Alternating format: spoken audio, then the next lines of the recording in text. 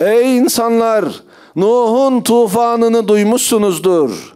Sonuçta Allah'ın yardımının geldiğini görmüşsünüzdür. Ve ey müminler! Allah'a tevekkül edip yolunuza devam ettiğinizde Allah'ın yardımının geldiğini anlayabilirsiniz. Korkmayın. Tevekkeltu alallah deyin yolunuza devam edin. İşte Hazreti Nuh Aleyhisselam öyle dedi yoluna devam etti. Belki dünya gözüyle bakarsanız, belki sebepler dünyasından bakarsanız hiçbir şekilde başarılı olması mümkün değil.